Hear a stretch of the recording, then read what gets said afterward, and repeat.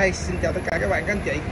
Hôm nay em xin phép giới thiệu với các bạn các anh chị một chiếc xe Honda Rim 2 Thái tem lửa 7 số.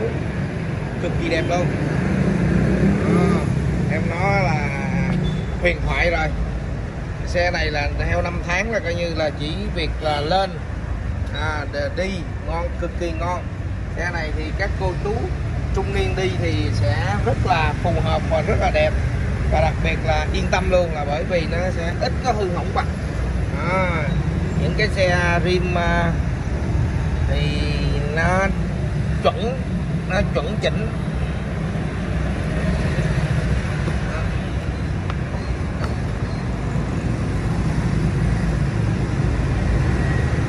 Xe này thì chỉ có việc là nồi độc của đá, chạy ngon là cực kỳ xe là có điện còn nguyên luôn. Mình sườn không một mọc mình sườn không một mọc gì hết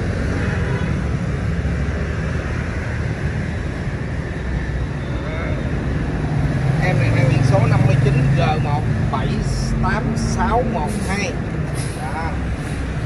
và cây bô là còn nguyên luôn 1985 Đó. tem gấp cũng còn nhưng mà nó bay màu theo thời gian.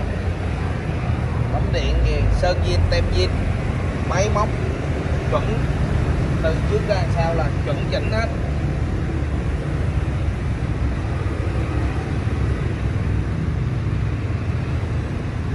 Cái đèn đèn này dơ dơ, chứ không phải là nhớt nha các bạn. Đen đen là dơ dơ, năm tháng đó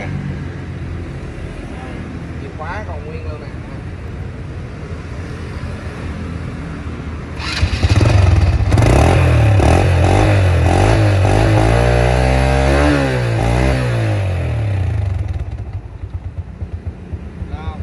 Máy nổ rất êm.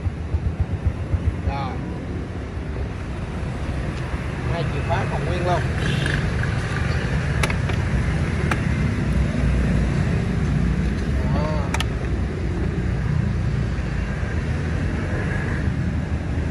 Đó à, và với một cái chiếc xe Honda Rim 2 Thái tem lửa 7 số này thì đẹp này thì mình mong muốn bán với giá là 35 triệu nha các bạn. 35 triệu. Rồi em xin chân thành cảm ơn các bạn các anh chị rất nhiều. Xe là chính chủ bao thử bao test bao ký giấy sang tên toàn quốc luôn. Rồi em xin chân thành cảm ơn các bạn các anh chị rất nhiều.